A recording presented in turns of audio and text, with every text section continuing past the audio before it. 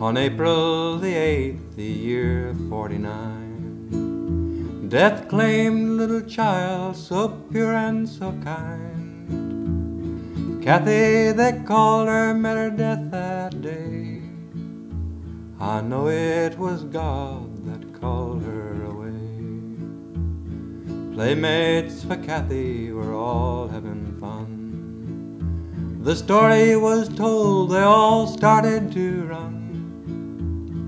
As they looked back, she was not there. It's so sad to think of this tragic affair.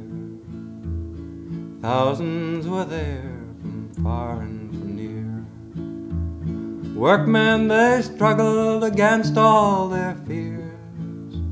But after two days they felt so weak. They called down to Kathy, but she never did speak. After working so hard both day and night, digging forever, she came into sight.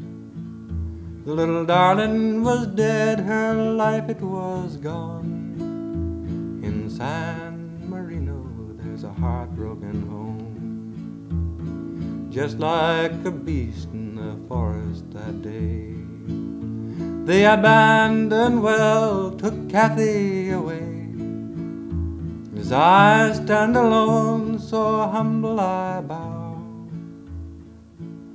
I know Kathy is happy up there with God now.